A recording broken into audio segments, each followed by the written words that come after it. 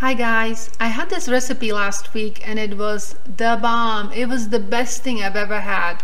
The best guacamole for sure.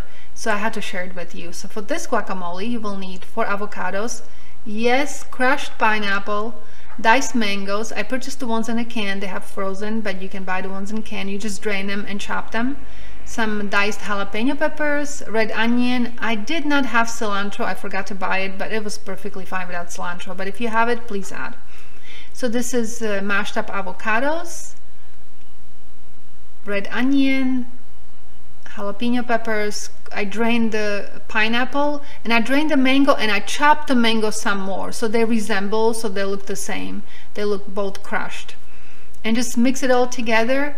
And I learned another quick tip that you will reserve the pits and then once you mix your guacamole, you put the pits back into guacamole and it will last your, your guacamole will last longer and will stay green longer. So that was something I've never heard of. So, but of course, our guacamole did not last the next day because we just scarfed it down in one sitting. It was that good.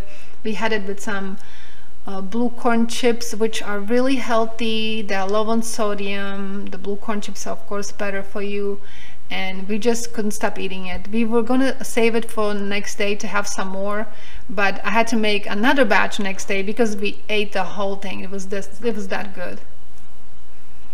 If you like my channel and if you enjoy my recipes, please subscribe and like, and I hope to see you in my next one.